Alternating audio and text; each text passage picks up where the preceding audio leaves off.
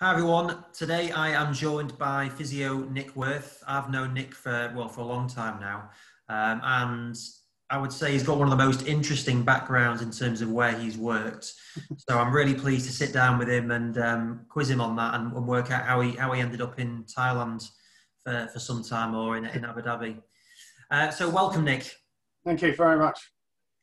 So. Uh, very simplistically, how did you start in physio? How, why physio? Why did you want to do that? Uh, a bit of a strange one, really. I mean, I, I when I was at, at secondary school, um, I didn't really have a great idea, sort of plan of what I was going to do. Uh, my sister's a nurse, and she kind of often used to talk about kind of the patient contact stories she had. Um, and, and I kind of was interested in it. And when I was about 16, I had a yeah, typical footballer having a, a knee injury. I went and saw a physio um, of what, when I look back now, the treatment I received was pretty poor, but at the time I quite liked it. Um, and I just wanted to do something kind of physical and active. So I don't come from a, a footballing background, if you like. I, you know, mine was entirely, you know, went through A levels, uh, applied to university, and then carried on from there. Really. So yeah, it wasn't always my dream to be a physio. I probably didn't quite know all of the other areas of physio other than the sports side when I went into it. So it was an interesting kind of experience for me. And so, how did you get into football then? So, how did that? If you, that wasn't a particular interest, how did that happen? Well, yeah, I mean, I, you know, I've always been a football fan. I'd always played pub league football. I wasn't an ex-pro or anything like that. So I qualified and then uh, worked in South London in the NHS very briefly. Um, but I started working when when a colleague of mine was giving up a rugby club. So at Streatham Croydon it was. Um, and it was just a, you know, a few quid and just covering games and, and learning a bit of sports stuff. And this was someone who I quite aspired to. And actually within the team, people were then going, actually, you're really good at this. And, you know, you're better than what we've had before. And it was weird because it gave me that spark to go, actually, maybe you can do it when I'd never really felt that I was going to. And, and at those, in those times, I mean, I qualified in 93, which shows how long ago it was you know, you know, there were it was like one physio with it to a football team. You know, you didn't have these massive teams that were there. So I was working in the NHS doing a bit of rugby um, on the evenings and weekends, playing Sunday league football. Um, and there was a job advert in the Daily Mail, bizarrely, for uh, an assistant physio at Sheffield Wednesday when they were in the Premier League. So I'd applied for some other jobs. I applied for Barnet, that kind of thing. I'd had interviews and, and not got them and was thinking maybe it's not going to be me or it's a closed shop. So it was a bit of a out the out the blue. Um, happened to be a Daily Mail advert. So um, literally, my the, the, the, secretary receptionist that I used to work at said, "Look, you should apply for this." I went for it. There were two or three people subsequently been become friends that were probably higher up the pecking order, but apparently I did well at interviews, and that's where it started for me. So I went straight into the Premier League as it was at that time, uh, working as a reserve physio. That's amazing then. That is absolutely bizarre to think it was in a, the Daily Mail, just seeing that. Yeah. I mean, you can't imagine that now, can you, in terms of. No, I, I, absolutely. I mean, it, it, was a little tiny advert, um, like in, in, in the sports pages. And I, it was a day that I was off. So, you know, I could have easily not, you know, I, I don't, I didn't, and still don't read the Daily Mail. Um, you know, it was something that someone else found. And I, I applied because I was interested and thought I'd have a go. So, um, you know, to actually get the job was a bit of a surprise to me. And, and also, the time I did my interview, it was it snowed up there, um, and they were worried about whether I was going to be able to drive up the motorway to, to, to, to actually get home safely. It was that it was one of those kind of weird stories, but apparently I did really well at interview, and and as a result, got the job from there. So you mentioned you mentioned a bit before that the um, players liked what you were doing more than the other physio. You got that. What do you think you know what it was that the, the team liked about your characteristics? Um, one of the things I would say, and it's one of the, it's a great advantage I would say for people who are looking in, to get into sport, is actually playing sport myself. So the the, the kind of team, um, uh, you know, sort of changing room mentality was something that I'd always enjoyed. You know, I'd always played football. You know, the banter, the jokes that go on, the you know the the Mickey taking and the stuff that's a little bit near the knuckle. And I think kind of coming across that you were able to deal and manage the team situation was something that probably came across. And you know, look, I was young and enthusiastic in those days, and so I think to a certain extent, you know, the fact that I was really interested and really wanted the job probably was the big thing. But I don't think it was physio skills. You know what I mean? It was it was the other skills. You know, the other physio that was before me. I, I still think he's a far better physio than I am. But I just think I fitted, um, you know, being part of the team, and I think that was an important part. How important do you think that is, both in terms of physio, that personal relationship with the, the, the your patients, but also from a football context? Um, yeah, sorry, de- absolutely, definitely. I, I used to. There's been several people over the years that I've kind of mentored or worked or I've employed as uh, sort of reserve physios or physios alongside me, and particularly in team sports, the actual physio bit is about five percent of the job. Ninety-five percent is I say man management, but person management. You know, managing the individual, the personalities, the pressures, the worries, the um, the psychological aspects of injury or, or performance. And I do think that's the biggest thing.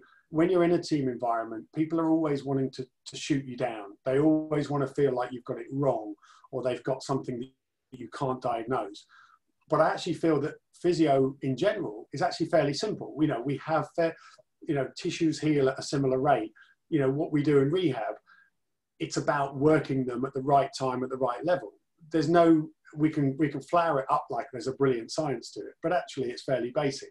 Moving sensibly and in, in sensible ways and loading the patient at a reasonable time. That's really important. I mean, I, I now do a lot of kind of first contact practitioner, advanced physio jobs. And when people come and sort of uh, look at what I do, so they come and so they come and shadow what I do when working with patients. The one thing they always say is about the way I speak is quite simple, simple for the patients. I think physio can be overcomplicated. My, my feeling is keeping it really simple for a patient and for the team is really important. The, the, the people skills are more important than the actual, you know, the skills you learn on, uh, you know, like, like manual handling skills. I think it's more about the way you deal with a person. And is that the case? We're, we're talking about the player or patient there, but what about the management structure and whoever involved in that? No, I, I agree. Always the same thing. You know, um, it's tough when you're first starting out in sport to be the person that goes and knocks on the manager's door of a morning and just goes, right, your star striker's going to be out for six weeks. You know, that takes some resilience and you, and you learn that. And, you know, some managers almost put it back on you like it's your fault. Other managers are very accepting, going, no problem, we'll just move on. Um, and so you've kind of kind of managed that. And, and you know, nowadays with having a bigger team, um, there's a sort of shared responsibility. Whereas, you know, in, in the early 90s, you know, you, it was you were the person responsible. You, you did everything. So, you know, knocking on the gaffer's door and saying that someone's out for a long time, you know, takes a bit of bravery. Um, and there's been times that I've been shouted at and, and called all sorts of names, and you've got to develop a thick skin and get on with it because it isn't personal. It just feels like it at the time, but it's more about the situation that people find themselves in. Sports a high pressure environment, but it's great fun. Don't get me wrong, I loved it, but um, you know, it's not for everyone. And have you had any, any instances where either a player has said no, I'm not having that, or a manager has said, yeah, I don't really care what you're saying. Have you had, have you been overridden many times? Um, I think people challenge you. I, I, I, don't, I can't sit here and say that I would say that there's been areas where I've been totally overridden, but certainly players and you know, uh, players, managers, coaches, sometimes agents try and put pressure on you. Now, there's a little bit where sometimes you'll want to you'll want to make a definite decision, and then a player will go, "Look, I'm not quite right," and so there's a little bit of a grey area. You have some protection, and similarly the other way, where you go, "Okay." There's that time you put a player on the pitch where you think they're not quite there, but 80% of player A is better than 100% of player B, yeah, then there comes that those times when um, you almost kind of are on the sidelines watching the match through your fingers, going, "Oh, I can't bear, bear to see whether they're going to break down." But yeah, so there are those times it happens. I don't feel I've been particularly pushed around. Um, there will be times I've, you know, other people will perceive that I have, but I've always been quite strong in it. Um, but that's where I think the relationship you have with a manager, they've got to trust you that you're doing the right thing.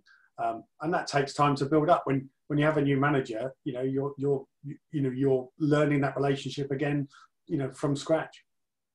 Yeah, I mean, I think that's a really interesting point and question on that. Is that I think it's kind of moved away from it now, but there's a lot of times where when a manager goes, loads of the staff go, which may include the medical department. Yeah. Have you been involved in that, of, both in terms of being recruited or from being let go in that scenario? Yeah, uh, yeah, several times actually, and I, and I'm, I, it's good to see now that um, uh, that that's happening less. It doesn't mean to say it doesn't happen. Um, certainly, throughout most of my career, um, people were changed when a manager changed quite a lot. I was quite lucky. I didn't. It only happened a couple of times to me, but I did see it happening a lot around me. I think one of the first times I would suggest that would be, um, you know, the, the, the, team or the medical team being employed by the club was actually at Chelsea under Brian English, where I think it was in the early days of Mourinho, um, where he was very much, you know, Brian English's boss was the chief executive and also the manager's boss was the chief executive. So where there was ever an issue, it wasn't a question of the boss, the manager saying, right, you have to do this. It was actually, we need to go to a third party and, and resolve issues. I think from my point of view, most of the time I kept my job uh, because people trusted you. I lost it once when I left West Brom. Oh, sorry, not West Brom, when I left Bolton.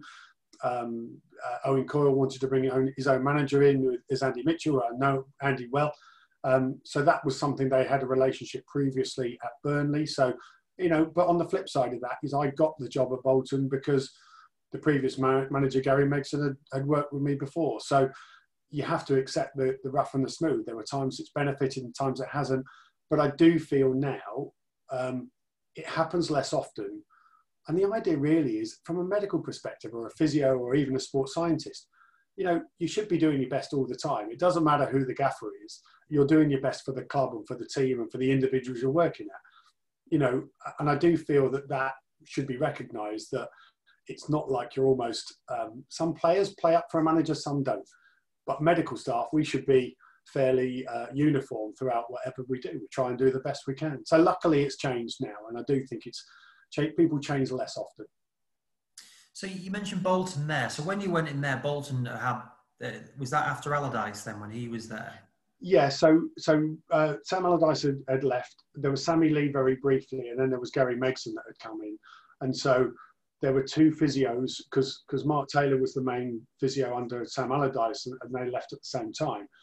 And then there were two physios between you know, in the space of a year, I was a third physio to go in there and run the department. So yeah, it was a big turnover then.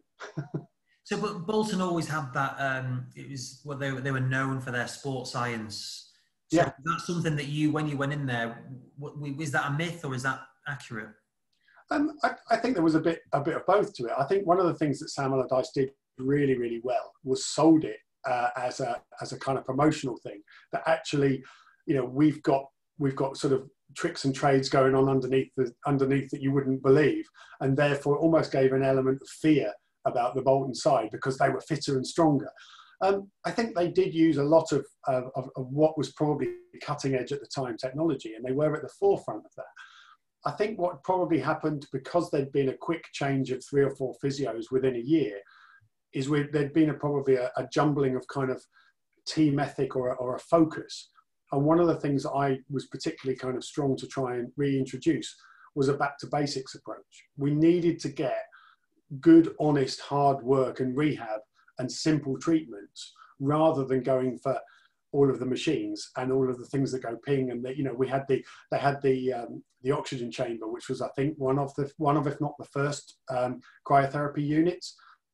Um, you know they, they were doing things like that whereas now they're commonplace. It was cutting edge at the time but realistically, in the position we were in, it wasn't used and it was costing a lot. So I was part of the, you know, um, dismantling it at the time because there wasn't the benefit. It was a cost benefit analysis from that point of view. Research was a slightly dubious. Um, so yeah, we, I came into it and there was a lot of reliance on cutting edge technology, but I, which I think a lot of it was very good and certainly was at the forefront of what happens now in terms of, for example, monitoring GPS. But on the other side of that, I would say what they did at times is probably went so far ahead they missed the basics. And my my thing was to marry the basics in with their further technology. Mm. Yeah, it's interesting because you would go into Euxton training ground and you, you wouldn't instantly think this is cutting edge when you you were going. No, I, I mean it wasn't, but you know it was. I think because it developed so quickly, you know, in the time when, when, for example, Mark Taylor was first sort of introduced at Bolton, you know, it was fairly basic, but then they extended and extended and extended. And so in the, in the space of a few years, you know, it really did improve and probably it was almost going at such a pace. Um, you know, it, it was, it was an amazing kind of facility because so much was going on, but it was kind of add-ons rather than developed all the way through. But you know, they they were great. They they the one thing I think that was really good about that, you know, I'm still very good friends with Mark, was actually the fact that they just had that open space of dialogue. You could come up with an idea, and you could hear a new idea, and they'd have the ability to go, brilliant, let's give it a go. Now the problem is now is that if you said right, we want to bring in a new a new piece of kit, is how much it costs is the first thing. Whereas at the time, because they were on that role, they probably had more ability to change than most people get the chance in their careers. It was a great time for them. Yeah, no, that does that does sound really interesting. I mean, you mentioned about having an open forum on those things. One of the things that you see, some of them very highly publicised about clashes within both within, and say, a medical department, maybe, but then also with management and so on. Have you had any any instances where you've had um, big clashes between maybe even like a doctor, physio, sports science? Um, I, I, don't, I don't, I don't think particularly. There's um, certainly nothing in terms of in terms of uh, physio or medical or the way I manage things. I, I, haven't. I have seen it at other clubs quite a lot. Um, sometimes it's been different in terms of the sports science and the medical department. Um, they've often in clubs almost had a little bit where they're both trying to justify their existence against each other rather than working together. Um, a particular instance for me was when we were at West Brom uh, with Brian Robson. Um, the, the, the, fitness coach that came in there was Richard Hawkins, who's obviously at, at Man United now. And it was really obvious to me that actually myself and Richard worked very closely and very well as a team, where, you know, when someone was injured, we had a close collaboration as to what parts he was going to do and what parts I was going to do. And that really worked well. And it probably highlighted to me that although I'd worked with a lot of fitness coaches and, and got on well and there'd be no problems, it probably demonstrated quite when it works how much better it is. And I think for me, he was he really opened my eyes to making sure that there's a closer integration between the two departments. Whereas previously, I'd kind of looked after all the injured players, and then the fitness coach I'd been working with, they looked after all the fit ones. And really, there were, you know, it was only when I was saying someone's fit, I can now pass you on um, that was about the only time we really came in close contact. So I think Richard sort of opened my eyes to what's good. I've never particularly had any bad clashes, but I have heard of managers going mad at, physios. Um, but I, again, I don't know whether it's luck or whether that's just the way it's been. But you know, I, have always been a physio who's felt strongly about what I do. I kind of really enjoy what I do, and I would be willing to argue the toss with anyone about what I do. You know, I enjoy it, um, but I did I didn't really have clashes in that way. Managers used to be quite happy with what I said and, and could see, I guess, that I was always trying to do the right thing. Yeah. Yeah, well, no, that's, that's definitely good. Do you think that it's gone too far in terms of like the, the size of medical departments now? Um, I think it's about. I think it needed to be better than it was. So it's certainly bigger. I think sometimes now what you notice is um, when teams become so big, it's about people justifying their job or justifying their role. And they then go and find things to do to make sure that no one's looking over their shoulder.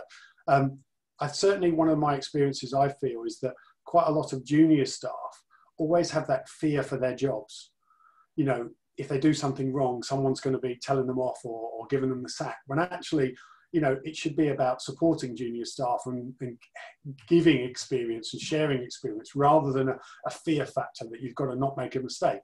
Um, I think it's about understanding the role and what you're there to do. So I think you've got to see within a team sport environment, you've got to see what you add. You know, there's loads of teams that will change their medical staff on a regular basis, and that's fine. There'll always be a head physio, there'll always be a head sports scientist, that type of thing. But if you're if you're not that head person, what do you add to the team? If you weren't there for a week, what would they miss? And I think having that role that you can clearly define to say, yeah, actually, the thing I give is I might give psychological support to those long term injured players. Well, that's an important part of the whole uh, team as a whole, as a whole, like a, as a family. You're adding that little bit to it. Sometimes it might be that you know you might be the kind of clown in the dressing room, but that's still really important. You know, sometimes you've got people that often it might be the masseur or the kit man. You know, they're really important parts of the team, but they may be the one that's the joke. Uh, you know, but that's that's part of it. It's everyone's got to have their place, but you've got to contribute. You know, and I think that's important. Mm. Well, we were talking about mental toughness just before we started this. Yeah. And it's a massive thing. I, I, saw that you've done some NLP stuff. It's something which us at Physiquipe, we're, we're all, all, of us as a team are going to be doing that. Yeah. I, I, like, talk me through your NLP experience. What was that? and, well, my NLP was only a, a, course I did years ago when I was at West Brom, and it, it was leading me on really because um, I felt that after when you're dealing with a a, a long-term injury, so someone that might be out an ACL, say what you're six to nine months or whatever it's going to be, you're dealing with someone on a daily basis. You're working with them through all of their tough times where they're struggling or they're in pain and, and all those family stuff. And my, my feeling was I just wanted to feel like I could communicate better and actually um, understand people in a better way. So I did NLP because I was probably reading books around that at the time in the end, I, I did a I did a diploma uh, um, in clinical hypnotherapy. I've, I do not really do a lot of that, but it was more about learning the skills to be able to be an effective communicator, about like motivational. So it's about like using the power of suggestion to um, help people understand what the point you're trying to get across. Now, for me in my clinical work now, working on sort of private patients, I find now if I do a technique that might be a bit sore, so I, let's say a manipulation, if I tell them what I expect them to feel, you know, so maybe today you might feel a little bit achy, a bit sore. It shouldn't be too bad. This is what you do. And I would expect you to feel better within a day, two days. This is how you do. If you give someone that suggestion of how they're likely to feel, then it's quite difficult for someone to go against that. You know, it would be if they're completely different to what they'd expect or if there was any difficulties. And generally, if you like, patients want to please you you know, we'd all, your idea is to get a patient fit or work with it, but they want to please you to go, actually, yeah, you, what you've done has really helped me. So you, you both have that kind of positive outlook. And if you kind of build that by the relationship saying, you know, this is what I believe and this is how you can do it, speaking very positive words, it really does help the relationship. And I do think puts people um, on the on the track to recovery. So I did all of that type of thing, and then the mental toughness it led led on from that was initially just dealing with long-term injured play, players at football clubs because there were times when people were um, you know struggling with ACL injuries and they go through that bit where they they've done really well for a few weeks and they hit that plateau where they don't seem to improve before they hit the next plateau where they go up. And in the end sometimes I just go look look just go home for two or three days. We need space away from each other. You know you don't need to hear my voice. I don't need to hear yours. You know different now with bigger teams because you've got the ability to drop people in and drop people out of rehab. But actually having the ability to go, you know what, have a few days away, clear your head, come back motivated in a couple of days' time. And, and sometimes doing that, that really helped. And I think the mental toughness thing about being positive and your outlook really has, has helped me throughout the rest of my career, I would say. It's really interesting, isn't it, though? So then you, you you are looking at it from a psychological perspective, then, and just seeing what each person needs, which I guess is what you need to do as a physio anyway for that from that engagement. But certainly yeah. with that players that you you get to know them, you may know them really well. Um, I mean, does it ever cross over? For, would you ever call the players friends of yours? Um, I, I, learned, I was taught very early on when I was at Sheffield Wednesday. One of the things that I mean, Dave Galley was my was was the first team physio at the time, and obviously we know Dave for a long time. And he always said, you know, look, look make sure you understand that there's a difference. And, and, very rarely have I ever gone out with players. I've done the odd Christmas do when you do that type of thing, but very rarely. Um, but I would say now, sort of over time, probably more now you don't work with them. You actually still speak to players. I mean, and I have I have players um, from years and years ago that still contact me, and, and it's quite one of the nicest things is if a player that I was working with, I mean, you know, one of them working with at Sheffield Wednesday as a player, he still phones me if he has an issue. Now that's just about trust. I mean, you know, he must have he must have hundreds of physios he's met in his career or people, but if there's a problem, he'll pick up the phone and go, Nick, I've got this problem with this, and that that's a lovely feeling. Mm-hmm. Um, but probably I don't regard them as friends while I'm working. because although you are close to them, you know, there's that point where players are an asset to a club. They'll come and they'll go, and it's not your decision whether they're kept or not. You know, they'll be brought in and they'll be moved on. But on the flip side, is if there's a contentious issue and a player's getting a bit of trouble, you could suddenly become the blame. You know, so there's always that point where if a player's under pressure, they can turn on you. So it's good to have that that distance, friendly but not friends. I would say. Yeah, yeah, it probably sounds like a wise move. you've mentioned like you mentioned a few people that you've worked with in the past. Like, what's the relationship with other physios or medical teams when you're working for a team? You obviously you may be real competition with those teams. Do you talk a lot? Do you talk about injuries? Um, I, I, think I think that used to happen a lot. I know, and again, this is showing, showing my age. Is that obviously all those those early FA days, having the days down in Lilleshall with um, with uh, with Alan Hodson and, and Chip Wilkinson, those types of people, they were fantastic, and there was a real sense of togetherness. Now, most of it was about going and having a drink, but it was very much that that you know you would chat and phone each other up if you had an issue. You know, I saw that you had someone who did an injection last week. The, the chap that normally does ours is away. Who would you recommend? And there was that. It's slightly gone away from that a little bit, but I would certainly say that um, there wasn't particularly a lot of competition. There was only one or two physios I would honestly say that I wasn't madly keen on, but that's a personality thing. And that's not, you don't actually see how they work. You know, you, you, you know they put their, their team out on the pitch, but, you know, some of those people that have been in the game for, you know, for, for a long time. You know, one of, for me, one of the best physios I ever met, and I'm still sort of friends with him now, is Dave Fevre. You know, he's been in the game such a long time, and every time you meet him, he, he, almost he almost exudes um, you know, excellent. Um, and for me, he's, he would be what I would regard as someone who I um, always looked up to as a physio. But, you know, you did have time for each other and, and that, you know, the people like the, you know, the Gary Lewins of this world, uh, you know, and Derek, Derek Wright up in Newcastle, they were people you used to speak to every now and again. Um, I still think there is a good, a good uh, atmosphere between people. Certainly, I do a lot of work with the Football Medical and Performance Association, so the FMPA with Eamonn Salmon, um, when you do the, the conference in the summer, there's still that very much that togetherness, but there is a little bit of, of angst. I think, I think people are always worried in case someone says, oh, you know, you know, Man United are doing this or Chelsea are doing that, when actually the thing is we are doing fairly similar things. There's not a million things that are new, you know, they might have an edge and someone's doing something, but it will be found out about and everyone will be doing it before too long. I think I do think there's that type of attitude. So do you think that in terms of that, Ben, if, if say for example someone comes in, salesperson like me comes in and talks to you about right, this system's been bought by X, Y, and Z. Yeah. Does that make you take note, or does it make you think I don't care? I want to find my own way of, of doing things?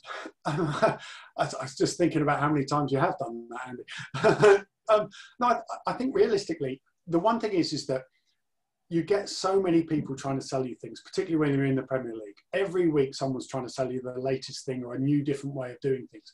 The point is, is that I think as a clinician, you've got to be sensible that you're not just going for things just because. You've got to, you might have a budget, or you might have only a small window of getting a few things in. So you've got to kind of shop around and say what's important. Um, so I think, you know, yes, you do listen to everything. And sometimes, you know, there are people who you'd always just say no to because you kind of know the kind of sales pitch you're going to get. But on a whole, it's, it's good to know what other people are doing. Um, the problem is, I guess I would probably say I'd always have a healthy skepticism when someone says, oh, you know, this player's using it or this club's using it you know, I would phone the physios and going, what do you think of this? And they'd be going, oh no, he came to me last week. And, you know, so there is that bit of, I, I kind of know some of its sales.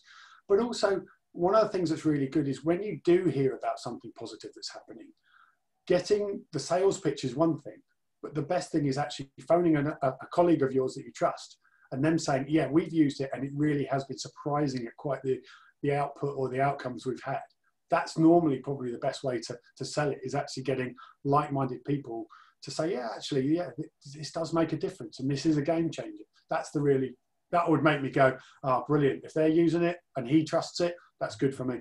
Yeah, yeah. No, no, I'm always happy to not do any sales. I'm happy one of you guys to do it for us. That's always good. Yeah. Um, just going back to a point I was forgot to mention before was I know that there's one. It was a Premier League team at the time. When they were building their new training centre, they actually limited the number of beds that they were going to have in the treatment room.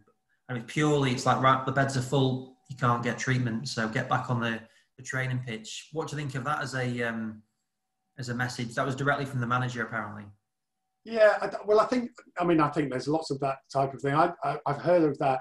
I've, I've also heard of you know, well, I mean it certainly happened to me where managers have gone you know bring them in early and keep them late at night and that kind of thing and you know work them hard all all day. And uh, you know the thing is you've got to say yes, there's a point where you need to you know it's not it's not an easy ride being injured. But on the flip side, if you just absolutely hammer someone, then it's going to be overload and you're not going to get motivated. So there is a balance to be had with that some of the old fashioned ways of just run them and run them and run them. You know, luckily that happens less. I'm not saying it never happens. Um, I think with the treatment thing, yeah, it's all very well, but ultimately, if you're the physio, you're the full guy. The manager isn't the one that's telling them, "Look, I'm sorry, you're going to have to come back in three quarters of an hour because I'm busy with these four people." You know, you're the one that takes the flack from the players, um, and it isn't easy. But you know, yeah, there's got to be a compromise. But managers will always like to have their influence in every aspect of the club. You've got to stand your ground. I don't agree with it, but it's kind of part of the game, I guess. Yeah. You know, and, and then if that manager moves on, because whatever happened they do, then would you change it in the end? Well, again, some of those things work well. So, you know, sometimes it helps you because you, if you've only got, let's say, four beds and you can only deal with four, those four people, well, great. That might mean your workload is a bit less stressed at one point. So, you know, sometimes there are benefits that you wouldn't anticipate. It shouldn't always be used. I don't like the idea of medicine or sports science being used as a punishment very much. I mean, you know, sometimes it can be, but you know, it should. We're doing something that's positive, that's helpful. It shouldn't be regarded as you know you're doing extra because you're you're being punished because then that takes away from actually the good stuff we're doing. Mm. Yeah, and then on the flip side, then from the player's perspective, if you're doing a treatment which you think is the right thing to do for them, they're just like, no, don't like that. Don't doesn't feel good. Yeah, you're thinking, well, maybe it should do. Like, what, what? How would you manage that sort of situation? I think that's where the relationship and the conversation needs to come in. You know, the loads of times I've done the, uh, you know, sitting in a room with just myself and the player, or myself, the doctor, and the player, and and there's a it's difficult because there's so much out there in terms of agents, uh, other coaches, other players, social media saying what people should and shouldn't have.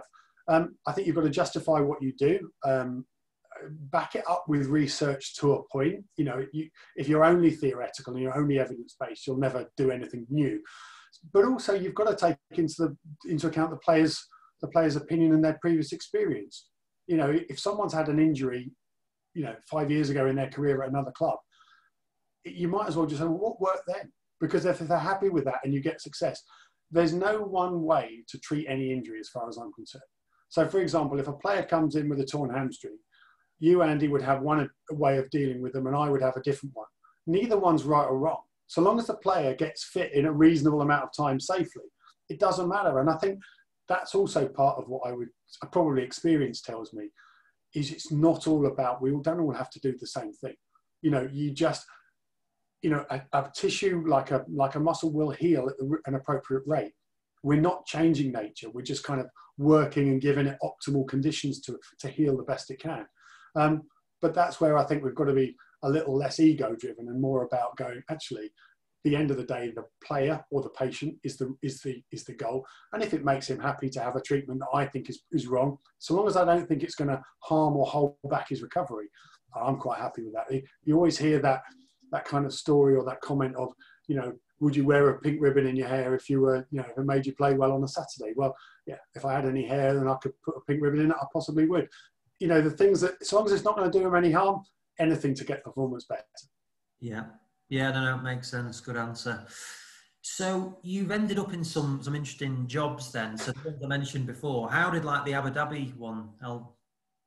Yeah, well, I, I finished at uh, I finished at, at Bolton uh, at the end of the season that was 2010, um, and actually very briefly then I, I I got the job and I was I was touring. I toured very briefly with U2, so I was that was kind of looking after the drummer for a brief. Uh, that was a bit of a I, I, it was a, it was a job that was advertised on Physio Bob, but it was a, a kind of mystery one. You know, I didn't really know what I was getting into, and it was quite secretive. So I did that for a few, for a couple of months, and then um, actually um, Mark Waller, who, who used to be the Liverpool doctor, he's now up at Rangers. Um, he was offered the job in Abu Dhabi as the as the doctor, um, and then fairly soon after going there, uh, Gerard Houllier wanted him to be his doctor at, at, Aston Villa. So I've been friends with Mark for a long time. We worked together at the England under 21s, and he knew I was out of work, and he phoned and he said, "Look, there's an opportunity. Would you be interested?" And I was phoned on the Wednesday and went out on the Saturday for an interview.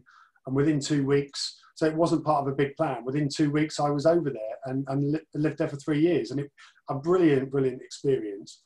It's not like normal real life. Um, and the football is very, very, very different. But the idea was is to bring some Premier League experience over there. And um, the club I worked at, Al Jazira, um, is owned by Sheikh Mansour, who owns Man City and they'd never won the league. So they had all the best facilities, the best stadium, and all the rest of it, but never won the league. So in that first year I was there, um, we, we won the league and cup. We won the uh, the league the year after. So you know, it's it's been very proud that I was part of that. Um, but yeah, it kind of came about out of almost nowhere. So it, I didn't apply for it. Someone someone knocked on my door and said, "Look, do you fancy it?" And I've always been someone who's gone, "Yeah, I'll give it a go." So I kind of did that and had three good years at it. Yeah, that's amazing. Did you ever feel like you were missing out from doing? Well, I guess you'd moved out of football anyway with, with doing the U2 stuff, but did you miss being in the the English league? Yeah, I mean, the thing about it was I, I didn't quite know what was going to happen regarding uh, when I left Bolton. I wasn't sure what I was going to do. I, you know, I've had when I work out sort of just over twenty odd years in football. So I wasn't sure what I was going to do. I was quite open to anything, um, you know. So I wasn't kind of desperate to do anything in that way. I'd started doing a bit of lecturing at that point. So did three years abroad, but it was still football, so that was quite nice. Um, and then and then came back after three years and wasn't sure what I was going to do. Then started lecturing at Salford University because I was doing a little bit of that before, and I also teach for the Society of Musculoskeletal Medicine. So I was doing all that kind of thing, and then and then had the opportunity to go um, and work at Wigan very briefly with Malky Mackay. So I only worked there for a few months, just towards the end of the season, but it was like a temporary contract. Um, so yeah, it, I've kind of always been. Um, I missed I missed the kind of idea that the football was was good in was in the UK. Premier League football is great, um, you know, or even like like Championship or League One, League Two. So it was different because in Abu Dhabi, um, crowds were small, very small. Um, although we played in the Champions League, in the Asian Champions League, and we, you know, I went over to Iran and played in about 110, 120,000. So, you know, it, it differed.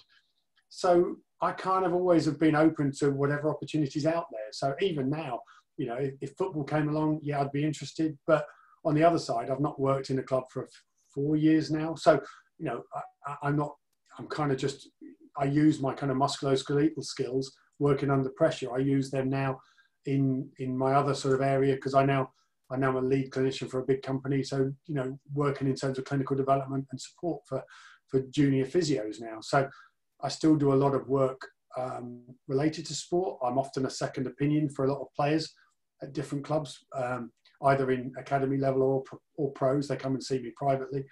I also do expert witness work. So if if a player is suing a, a, club or a physio, then there's not many people who do it in football. So um, yeah, I'm an expert witness for physio. So all of the major cases that have happened in the last 10 or 15 years, I've been involved in almost every single one, giving an opinion. So yeah, it's uh, it's interesting and challenging, but again, it, it keeps you that distance. So I've got I've got my toe in the water of football or professional sport, but yeah, I, I don't miss the overnights and being on call 24 hours a day, you know, and, and no holidays. So yeah, there's swings and roundabouts with that. Yeah, well, you toured with U2 for two months, so that must have been uh, you time. Were you all the concerts as well? Yeah, well the, well, the thing was is that I was dealing with a drummer. Um, he'd had a back injury, um, and it was the year that they pulled out of Glastonbury because uh, Bono had had a back injury. So obviously Bono had taken the attention, so the drummer had had something similar. Um, and, it, and it was great. I mean, look, I had a great time for a few months. I was I was flown around in the U2 private jet with them. Um, I was under the stage where they were on top, but I was I was basically kind of a glorified sports masseur. I used to do soft tissue work. We used to do work with them. did a bit of rehab, was down in the south of France for them. You'd get on the plane, go across Europe, do the gig in the evening, and then like two, three o'clock in the morning, you'd fly back.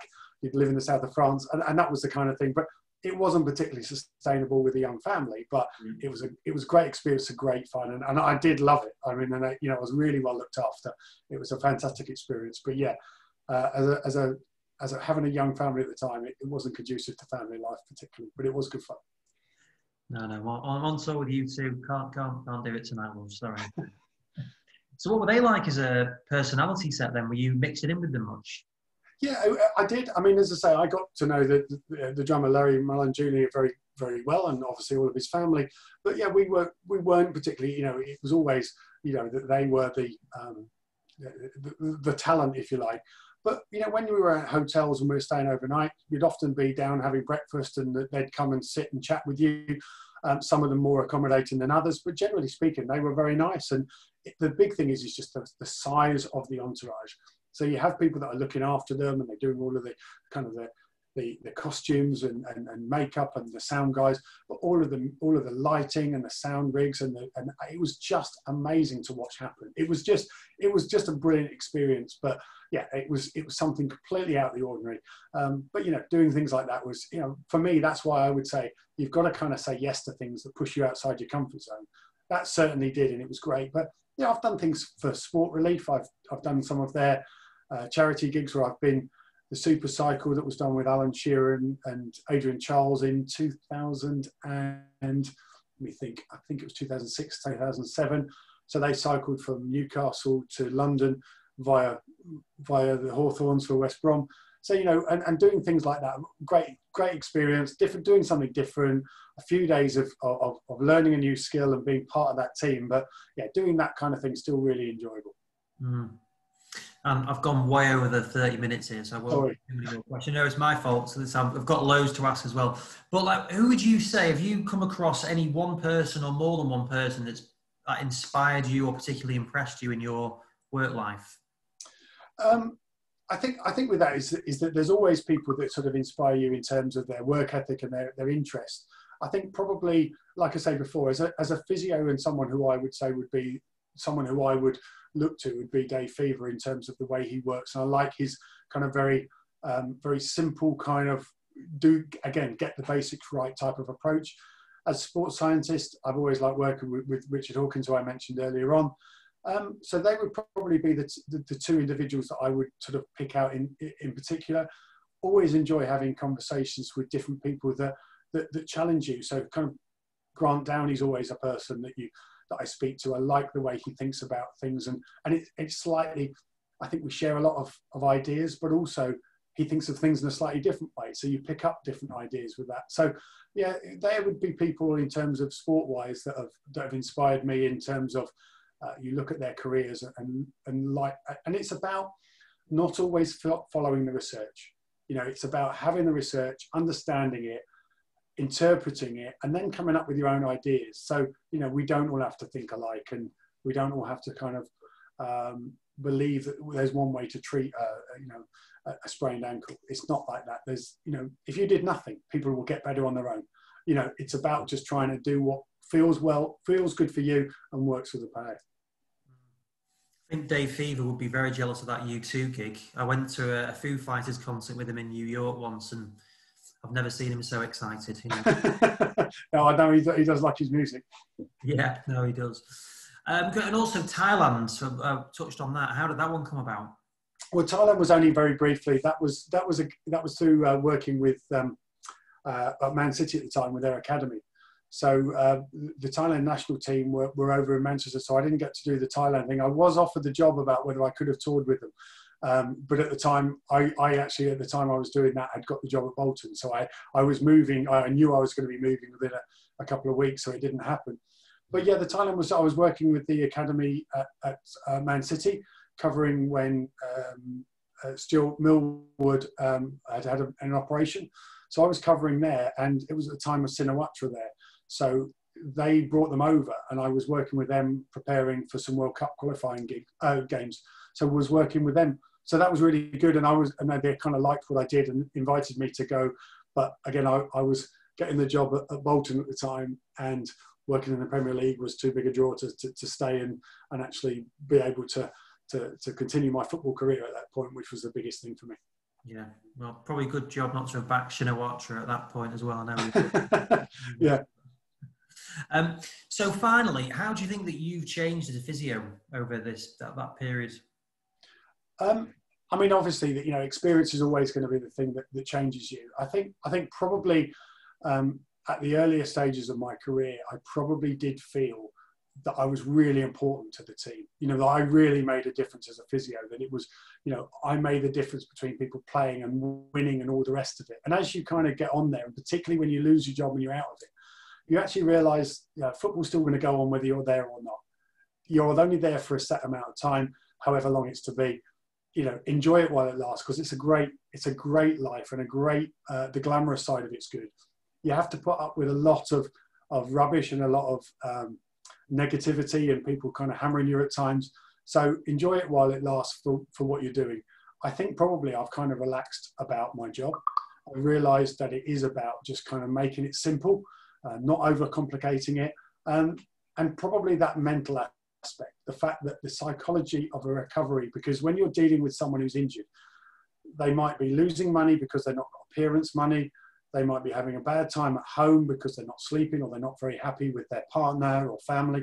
You know, understanding that and getting under the skin of a player at that point really makes a big difference on how their recovery may be, um, you know, structured on the way forwards. So I would probably say, taking away the physio and thinking more of the supportive mentor type person, that's probably more important. Great. No, well, that's a good time to finish. Nick, thank you very much for that. Really interesting. I actually could have gone on there, so I'm sure. well, thanks, Andy. I really appreciate the invitation. No problem. Thank you. Bye bye.